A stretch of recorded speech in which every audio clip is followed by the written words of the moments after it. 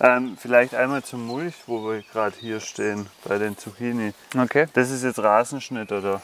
Ja, Was hast du da für das Mulch ist Rasenschnitt. Der fällt bei uns eben an.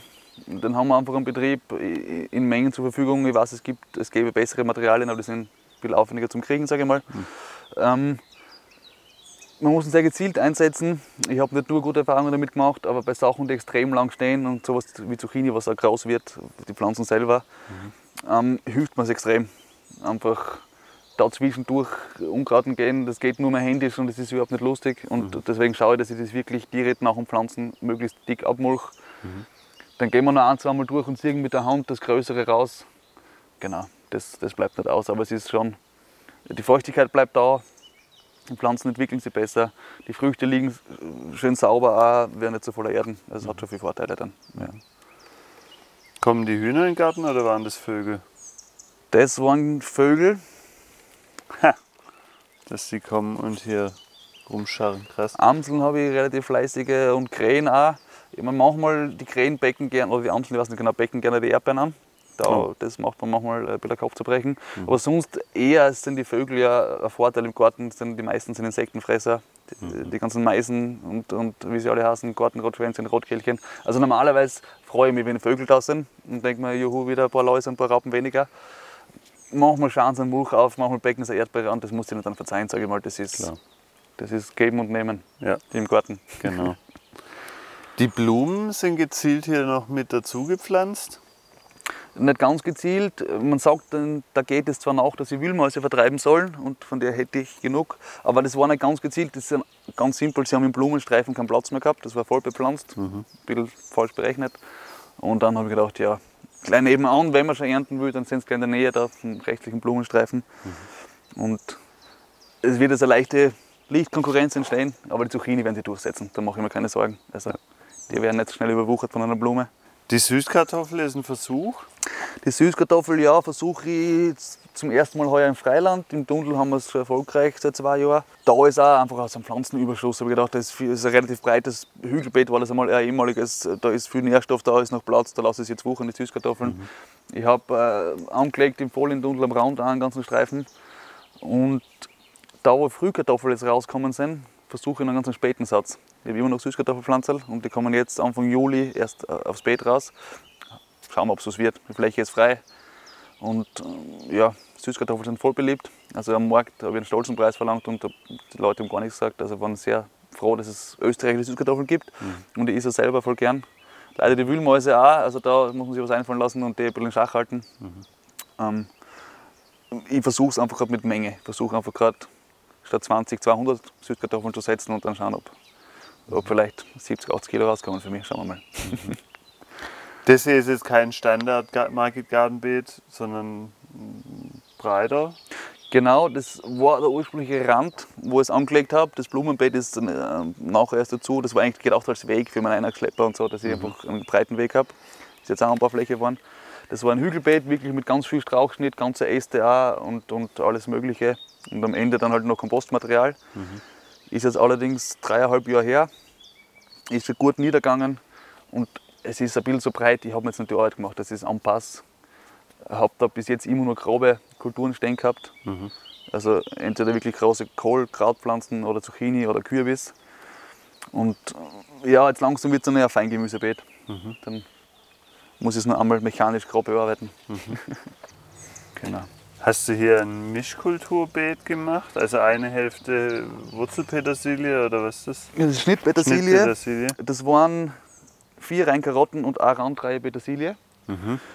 Die, die Reihe direkt neben der Petersilie war die erste Reihe, die weggekommen ist, einfach damit sie die Petersilie wieder entwickeln kann. Das war schon recht eng. Die ist jetzt einmal geschnitten worden, jetzt kann sie sich gerade den zweiten, den zweiten Austrieb quasi entwickeln. Und nebenan da stehen jetzt noch drei Reihen Karotten. Die erste, dritte ist glaube ich bis zur Hälfte weg. So ein bisschen Mischkultur, genau. Einfach eine Reihe Petersilie dazu. Hat den Hauptgrund, dass es den gleichen Säzeitpunkt gehabt hat. Ähm, die gleiche Beetvorbereitung braucht und mit der Sämaschine auch die gleiche Einstellung mit der Sämaschine zu verwenden war aber relativ äh, effektiv. In weiterer Folge ist es schon so, dass die Petersilie bleibt stehen bis September, die Karotten kommen raus. Aber ich tue da nebenbei, tue mir leicht, wenn ich da jetzt noch Salat nachsetze oder Radieschen, also ist genug, bleibt genug Platz frei. Das stört mich nachher nicht. Du hast die Petersilie auch direkt gesät? Die ist direkt gesät, ja. Aha, okay, spannend. Hat gut funktioniert? Es sind ein paar Lücken, wie man sieht, aber es entwickelt sich, das ist unsere Erfahrung, einfach so viel schöner. Ich habe unten einen gepflanzten Petersiliensatz, der ist natürlich viel jünger, der ist jetzt vor, ich denke, zehn Tagen ist das gepflanzt worden. Aber wir haben da mit dem, vor allem mit dem Nachaustrieb, das dauert immer ein bisschen länger, sie ist nicht so schön verwurzelt, mhm. haben wir ein bisschen mehr Schwierigkeiten als mit der Direktseite, ne? mhm. mhm. muss ich sagen. Hast du samenfreien Kompost? Den, was ich kaufe, ja. Ich kaufe doch den größten Teil dazu, weil ich die Mengen selber nicht schaffe. Mhm. Ähm, ich habe eine kleine Kompostierungsgeschichte da drüben, aber das ist, äh, ist kein, nicht in dem Stil. Es funktioniert in einem Grad, äh, wie soll ich sagen, ich schaffe die Mengen einfach nicht. Das ist das mhm. Hauptteil und die Qualität ist schon anders. Also beim Kompostwerk der Typ, der sich darauf konzentriert und hauptsächlich das macht, professionell, das ist samenfrei, der ist durch die Hitze auch relativ krankheitsfrei und steril und mhm. ich merke, es ist schon anderes Arbeiten. Also mit mhm. Kompost zum Kompostprofi ist das Leben ein bisschen leichter wie mit eigenen, wo halt wirklich viel Unkrautsamen aufgeht. Ich schaffe mhm. die Heißrotte nicht perfekt. Es dauert auch zu lang, das liegt jetzt schon neun Monate. Das schaffen andere in drei Monaten, sage ich mal. Nein, es ist, mhm bei der Fläche ja, ist es schwer möglich, das alles selber zu machen, ohne Maschinenpark. Also wenn du jetzt einen Kompostwender hast und Frontlader und so Geschichten, geht es vielleicht noch eher. Ist da ein Knoblauch dazwischen? Ja, das ist das missratene Knoblauchbeet, wo ich eben die Lücken dann mit Fenkel aufgefüllt habe. Mhm. Ähm, ja, ein bisschen eine frustige Geschichte, aber gehört dazu. Habe ich abdeckt mit Kulturschutznetz, Anfang Februar relativ früh, für mein Gefühl. Hat aber nichts geholfen. Entweder war es zu ungenau, hat er noch Lücken gefunden, wo sie reinkommen sind ähm, ja, nächstes Jahr besser machen. Wie erntet er den Mangold? Mangold einzeln tatsächlich mit Messer. Ich schneide die einzelnen großen Blätter und mache bunt. Hat sich sehr bewährt. Ich weiß, mache schnell die ganze Pflanze. Du hast das Beet wieder frei und kannst neu bepflanzen. Mhm. Aber die Leute haben es relativ gern. Fertig gebündelte Ware, sage ich mal. Das ist so, wir decken unsere Portionsgröße aus, die ungefähr passt, weil das ist auch nicht so leicht zum Abschätzen. Der Mangold geht ja beim Kochen, fällt das sehr zusammen und so. Ne? Ja. Also Genau, wir machen wirklich, also ich gehe mit Messer durch, Messer in der Hand, zack, zack, schneide die einzelnen Messer, da habe ich Kiste, die einzelnen Blätter, Kiste hinter mir stehen, kommen in die Kiste. Wenn die Kiste voll ist, kommt zum Waschplatz, wird gewaschen und mhm. gebündelt und dann in, in einen Kübel mit Wasser quasi eingefrischt. Ja. ja. Hast du Brechen mal probiert? Brechen mache ich zwischendurch, aber gefällt mir nicht so, aber dann habe ich immer die, den, unten den, das Ausgefranste meistens. Da ist gar nicht so arg, ein bisschen. Es, ist, es franzt ein bisschen aus. Ah, nee, nicht so, sondern. Aha. Ja, gut. Das magst du nicht. Genau, man kennt es nachschneiden. Man kennt, wenn man den Punkt ja, fertig nee. hat, mit dem Messer einmal nachschneiden. Ja. Aber, aber es ist natürlich schneller, wäre mal schneller wahrscheinlich, ja. Das weiß ich nicht, vor allem machen dir die, gammeln die irgendwann oder ist das kein Thema? Das ist ein Thema nicht wegen einem Gammel, sondern es ist, irgendwann stehen so viele herum, dass du nicht mehr tief mit dem Messer genug hinkommst. Und weil dann, du immer, immer höher kommst. Genau, weil die, die sind im Weg, ne, die halten, ja. kommen dann nicht mehr weiter oben wie so. Und dann mache ich mir die Mühe und schneide die einmal alle weg, ja, meistens. Also dann gehst du unten hier einmal genau. lang und machst Tipps. Ja. ja, das ist der Vorteil, wenn du runterdrückst und rüberziehst, ja, dann geht es eigentlich immer ganz unten. Das ist eigentlich schon eine Überlegung wert, ja, dann fällt das weg. Das habe ich nie hinterfragt, siehst du Sachen. Also probier es mal, vielleicht ja. taugt es dir mehr, vielleicht auch nicht. Äh, ich fand es immer relativ angenehm, weil ich, dann hast du nicht noch ein Messer in der Hand und ne, einfach so. Ja, ist, Wichtig ist, ist, halt runterdrücken und rüberziehen. Ja. Weil nicht sonst nach oben. nicht nach oben, genau. Und dann brechen die relativ sauber immer an der gleichen Stelle. Na cool, ja, guter Hinweis. Muss ich probieren. Wo ich gerade hier die Bewässerung sehe, wie machst du das? Ähm, ganz simpel, im Freigemüse habe ich einen Vierecksregner, wie man in jedem Baumarkt kriegt. Das ist eine günstige Alternative. Man kann eine große Fläche auf einmal bewässern. Also den da? Oder noch einen anderen? Es gibt verschiedenste Modelle, die machen jede so eine kleine Änderung, aber im Prinzip Grunde genommen, ja, ganz simple Catena-Bewässerungsgeschichte. Mhm. Mir kommt vor, umso billiger und umso einfacher, umso langlebiger. Also jeder, der sieben extra Einstellungen hat, wird sicher hin und umso weniger Hebel, umso besser. Ähm, genau, das ist jetzt für die große Geschichte. Äh, Im Tunnel habe ich Tröpfchenbewässerung, sonst teilweise bei langstehenden Kulturen wie Kohl mache ich es im Freiland auch mit Tröpfchen. Mhm. Aber wenn ich jetzt gezielt nur ein Beet bewässern will, weil da frisch gesät oder gepflanzt worden ist, muss ich das händisch machen. Dann gehe ich mit der Gießbrause um den Schlauch durch und bewässere das eine Beet halt eben händisch, weil ich da noch keine Automatisierung habe noch keine, ich habe keinen Beregner, der so punktuell genau Mhm. beregnen kann. Ja. Also mache ich wirklich alles mit dem Vierecksregner heraus. Und da musst du dann auf die Länge, wie lang sind deine Beete? Ich habe da 25 Meter Mhm. auf der Seite eben halbiert, teilweise nur eine halbe Beete. Es ist auch für die Satzplanung, ich habe nicht immer einen ganzen Satz, ein ganzes Beet. Das ist manchmal nur ein Drittel des Beet, manchmal ein halbes Beet, teilweise ein ganzes Beet, je nachdem wie ich es brauche.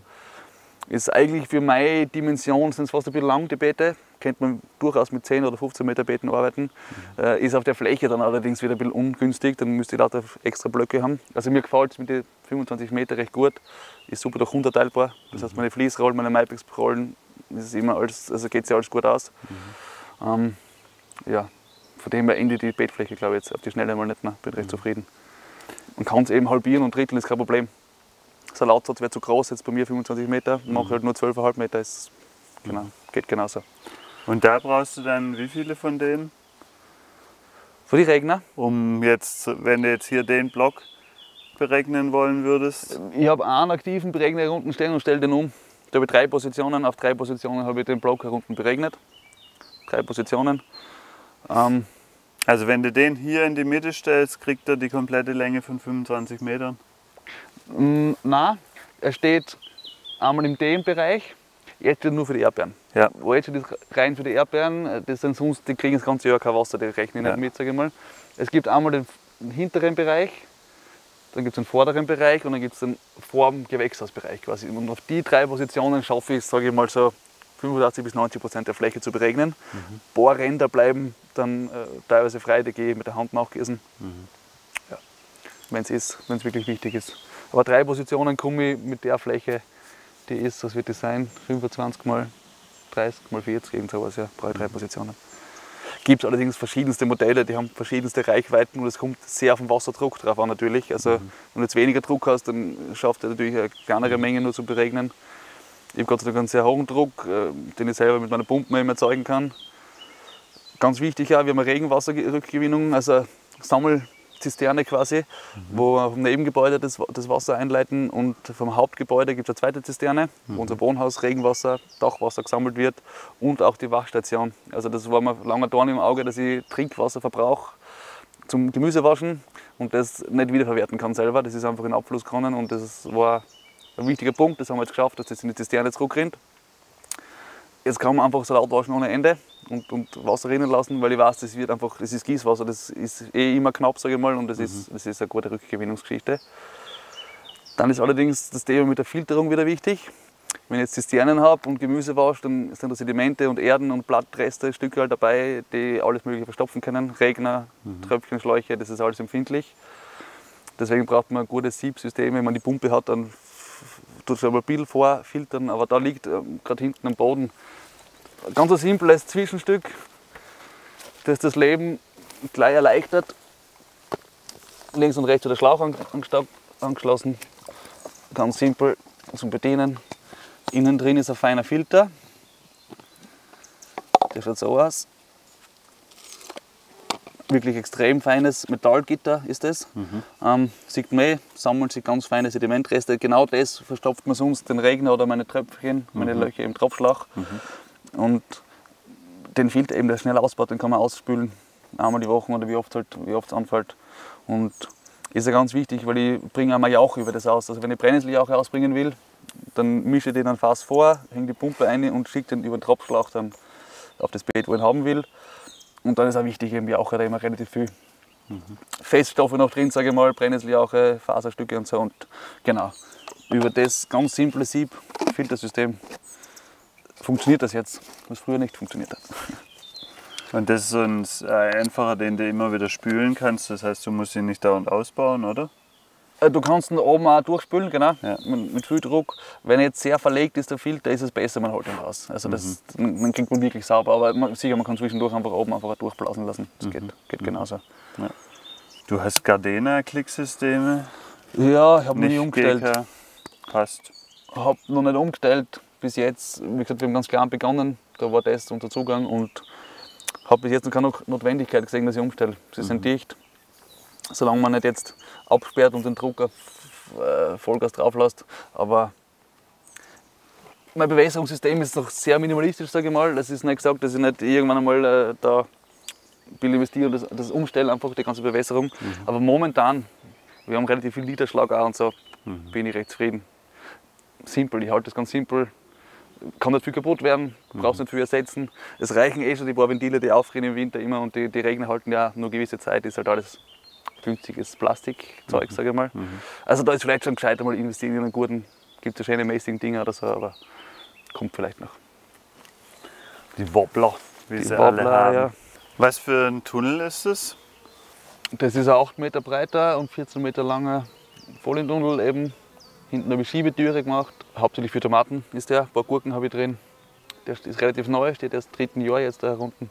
Ähm, so super Ergänzung zum zweiten. Also wir haben, wir haben oben den ersten Folientunnel, das ist eben der zweite. Und gerade im Frühling mit der Jungpflanzenproduktion wird es dann eng. Wo pflanzt man die Sachen und wo stellen wir die Jungpflanzen hin? Und dann kann man da ein bisschen ro- rotieren, ja, da hat man Ausweichmöglichkeiten. So ein normaler Rundtunnel hat den Nachteil, dass man eben am Rand äh, bisschen Anbaufläche verliert, wo man nicht Kraut zustellen kann. Also da sind die, mit die grauen Seitenwände, die Häuser schon effektiver nutzbar. Mir sind die beide relativ günstig gebraucht unterkommen, da habe ich zugeschlagen. Also es, wenn's zum selber abbauen hat das ganze Ding 500 Euro gekostet. Kannst sagen, danke, nehme ich. Ne? Ja. Folie drauf und ja. Das ist aber auch der, die selbstgebauten Giebel. Ja, genau. Das war wirklich nur das Grund, die Grundbögen mit der Längsverstrebung und sonst nichts. Da war kein Tor, keine Fenster, kein gar nichts. Ja, nimmt man. Nimmt man einfach, ja, das ist eh immer wieder die Überlegung, wegen der Überhitzung drehen, Schattiernetz drüber ziehen jetzt im Hochsommer oder doch eine Seitenlüftung oder irgendwelche Fenster reinschneiden. Aber ja, bis jetzt wollte ich die Folie nicht zerstören. Funktioniert erst kurz, wie gesagt, das sind nur 14 Meter, hat Ja. doch eine Breite von 8 Meter, also da zieht es schon relativ gut durch. Umso länger das wird, glaube ich, umso schwieriger wird das dann schon. Das Ja. kann schon zum Problem werden mit der, mit der Hitze auch.